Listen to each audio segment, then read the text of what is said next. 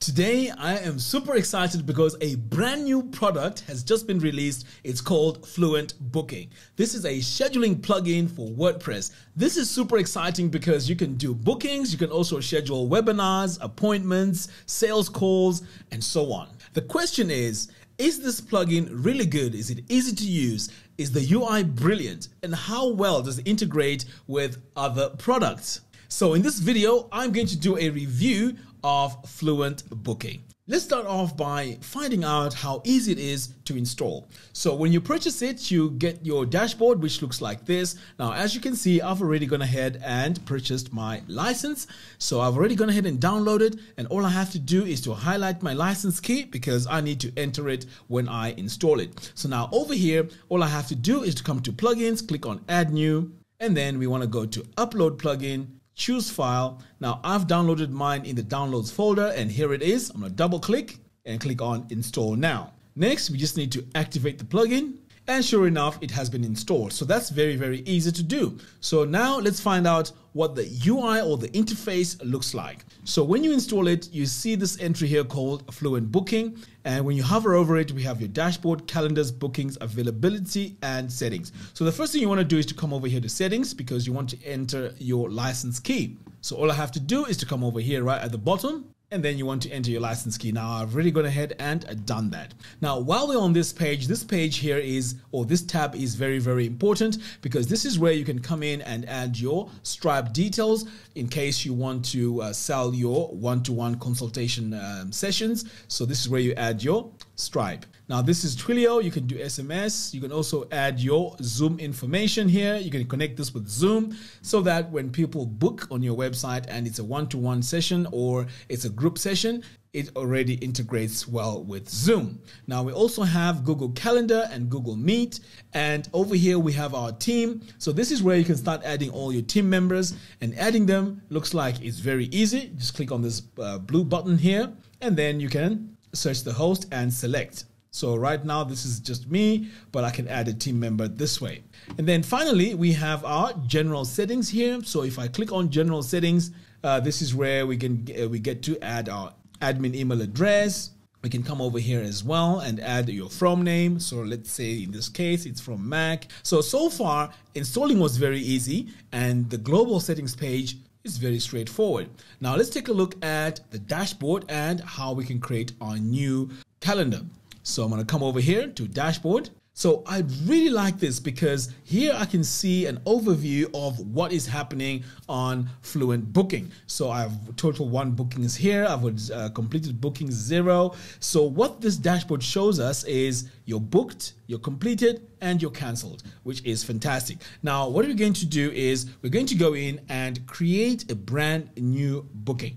So to do that, I'm going to come over here to my calendars. So next you want to click here on new event type. So when I click here, you notice that we have two options. There's one-to-one -one and there's also group. Now I really like this because you have now the option of either doing one-to-one -one consultations or you can do it as a group. So for this one here, I'm just gonna say one-to-one. -one. Now let's see how easy it is to create our event. So here we're gonna say one-to-one. -one. Okay, let's call this one-to-one -one Divi sessions. It's going to be 30 minutes. And I'm just going to add a description here. I'm just going to uh, enter some dummy text. Over here on the location, I can say online meeting. However, we have in person and we can also do it over the phone. So all this information will be sent to you once someone books, which is fantastic. So for this one here is online meeting. So here is where you want to add your link. So this is where your Zoom link or your Google um, Meet or uh, YouTube Live or whatever it is comes. So I'm just going to enter lorem2 and, pre and pretend that this is going to be the, the link. I'm going to hit update and pretty much that's about it. I can now hit continue. Okay, so now we have one-to-one -one Divi sessions. Now for this actual event, we also have some more settings. So take a look here. We have our schedule settings. So I really like the fact that everything is in order of importance. So if you want to change your schedule settings here, you can just scroll down and you can see here that these are the uh, the times availability time now at any point if you want to edit these you can just come over here to edit availability so now we can delete some of the times that you don't want. If you want to be available on Friday, you can just go and add that. If you don't want to be available on Tuesday, you can just uh, uncheck it. Now here on the Friday, we can add our time. So let's say this is 1.30 to to 15, for example. And then over here, we can also do some overrides. So let's say there's specific dates that you don't want to uh, attend to these one-to-one sessions. You can just click on add date override. Now you can just say maybe, for example, uh, on the 31st to the 4th, you don't want to be available and on any of those dates. So you can see here we have this uh, check mark, mark to unavailable, and then I'm going to click on apply and hit save changes. So, so far, we can go in, adjust the times then we, where we, uh, when we are available. So that's easy enough. Now, if you want to see all the calendars, you can just click here on calendar. And these are the ones I created earlier on. But the cool thing is, if you want to edit these calendars, just click on edit. And this takes you now into this area here. But the cool thing as well is if you want to delete them, you can just come over here on the three little dots. You can either disable which means it's not available then, or you can come over here. And for this one here, we're going to hit delete and then that just gets rid of it.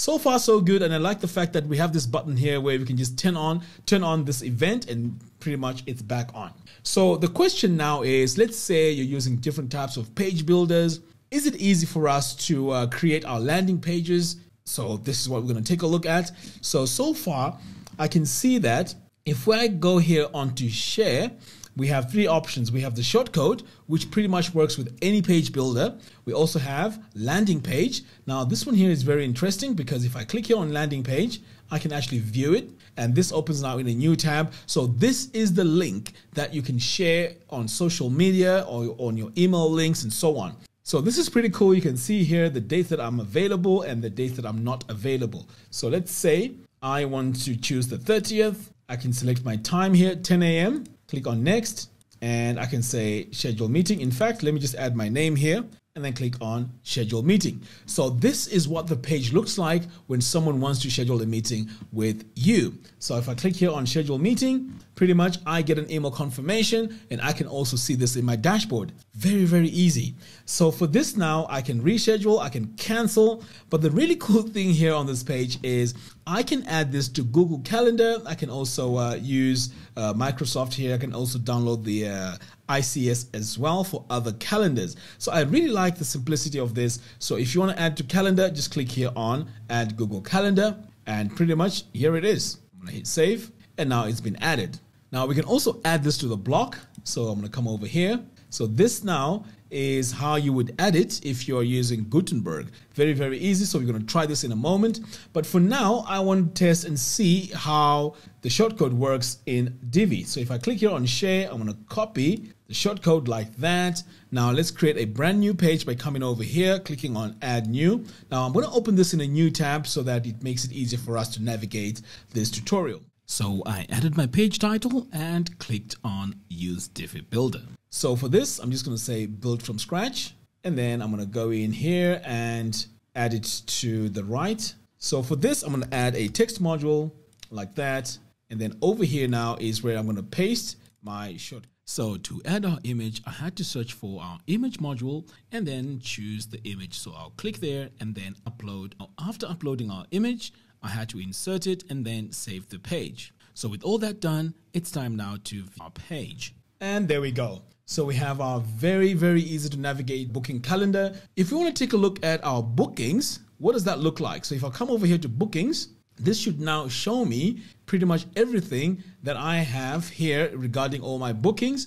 So at the moment here, I made two bookings. We can see here, this is October the 24th, and this is October the 30th. And we can see here that these are different ones. So if you click here on this tab, it shows all the completed ones if they are completed. And then this will show you the latest ones and this shows all. Now I also like the fact that I can come over here and specify the type of events. I can search the bookings. So it's very, very easy to find because once this is populated, you want to have a search feature. So they've really thought this through when it comes to really putting things where they're supposed to be. But let's say you want to create more advanced booking forms and also you want to somehow automate the whole process. Now let's start off by creating a more complex uh, booking form. So what Fluent Booking has done here is they have integrated Fluent Forms. Now let me show you how that works. Now I've already gone ahead and installed it and here it is. So if I come over here and click on new form, so at first glance you don't see where the booking is,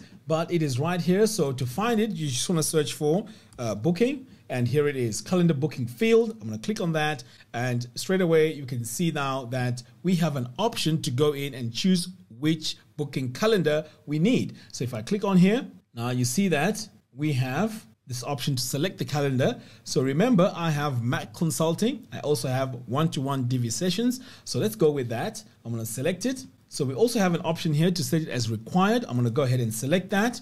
Now, this is time to go in and start adding all our uh, the rest of our input fields. So I'm going to go for name because I need my name field. I'm going to drag it to the top like that. Now let's say I want to add an address field. I can just click here for my address. After adding all the form fields, it's time now to take a look and see what the form looks like. Now I'm going to copy this shortcode. Now for this, let's create a brand new page. So I'm to come over here. So I'm just to call this new page because this is very, very exciting because normally with our booking calendars, we just have basic fields. But with this now, we can have several fields with our form embedded. So I'm going to go with a single column here just to uh, show you how this works. I'm going to choose my text module here and just paste my shortcode just like that. So this shortcode here is from the forms and then save one more time and preview. Now look at that.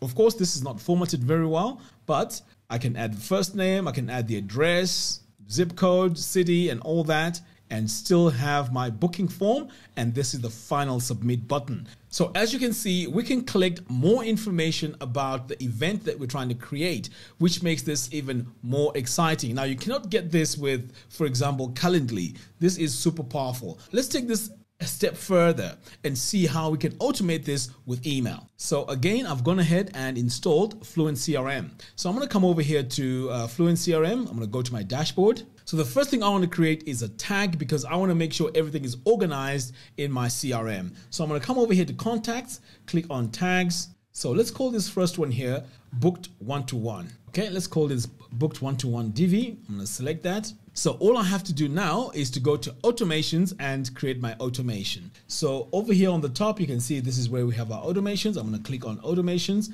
create a new automation. So you notice now we have these three options. We have CRM, we have booking, we also have WordPress triggers. So with this now, I'm just going to say one to one and then click on new booking, click continue. So this is what's going to start my trigger.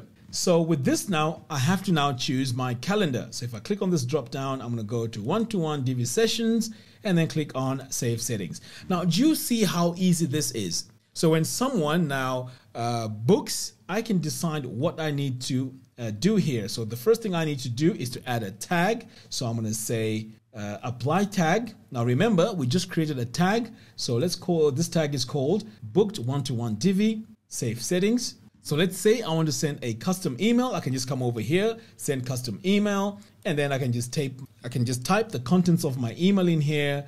And uh, let me add my email subject, paste it like that, and then pretty much say save settings. So once you're happy with the automation, all you have to do is change this from draft um, published. So what happens now is as soon as you get a new booking, you're going to apply a tag automatically and you're also going to send an email. But if you want to add a delay here, you can also add a delay, wait a few hours. So perhaps maybe you could say uh, wait um, maybe a day but what I really like is Fluent Booking works really well with Fluent Forms because you can build complex forms and it also works really well with Fluent CRM because you can do your automations, you can add people to mailing lists and so on after someone has completed the booking or after they've done the sessions with you. So it's a very good follow up system, which means if you want to run a business, this is a complete system. Now let's take a look at pricing. So at the moment there's a special offer because this has just been released and I have a link in the video description below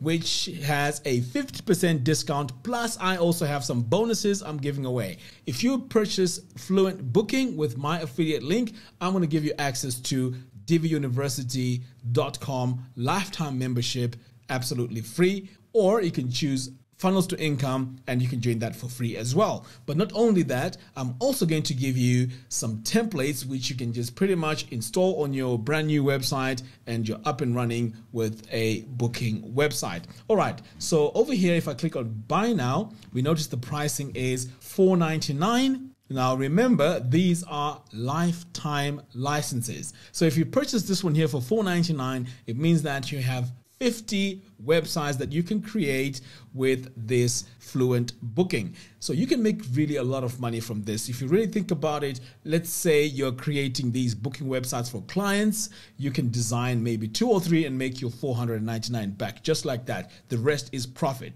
And you don't even have to pay any extra. This is a lifetime deal. Okay, so the next one here is the 249. This is the five domain license. And then this one here is the single domain. A Fluent CRM. I also have Fluent support. And these products work really, really well. So I would highly recommend you go ahead and purchase this. Like I said, the link is in the video description below. So let's take a look now at uh, Calendly because this is the competitor or is Fluent Booking the competitor. I don't know which way you're going to do this, but Calendly does the same thing pretty much as Fluent Booking, but of course, Fluent Booking is superior because of the integrations and all that. So if we go here to the pricing, we notice right away that uh, we obviously we have this free one here, but it doesn't have a lot of features. So we have this $10, but this is per seat. So the more seats you have, it's going to cost more, okay? And this is per month. There's no lifetime license. Over here, it's $16 per, per seat per month, and this is custom. You can talk to sales if you want to uh, work with that. But the thing is, it may look cheap right now off the bat, but the moment you start having more seats or you start having more people, this is where it gets more and more expensive. So the better option here is to just purchase the lifetime license, and this works on your domain, and you also have full access to all your customers, you can communicate with them, and all the data is pretty much on your own website. And I think this is very, very unique and it is really, really good. Okay, so now we've covered the uh, pricing. The next thing we need to take a look at is is this mobile friendly once it's on your website? And I've tried that. It's definitely mobile friendly, which means people can do bookings from mobile phones and this will not distract them because it's not mobile friendly. It is really, really good. It looks great on mobile devices. The other thing as well is does this make it slow on your website? Absolutely not. I'm actually using this now on Divi University and funnels to income. So I, I highly recommend Fluent Booking. It is a fantastic product. Of course, in the future, we may need other features like integrations and also more payment options because at the moment, we only have Stripe. But apart from that, this is a perfect product and I'm really excited with this. If you want to make money online, this is another way to use this. So some use cases are if you want to do some online training, this would work really well. If you're a gym instructor and you want to control all your bookings, this works really well. If you're a dentist or um, or if you provide any healthcare services, this booking works really, really well. So it has so many use cases, and I can see this working great for entrepreneurs or anyone that wants to make money online. All right, guys, thank you very much for watching. Let me know what you think in the comments box below. Until next time, thanks for watching, and I'll see you in the next one. Take care.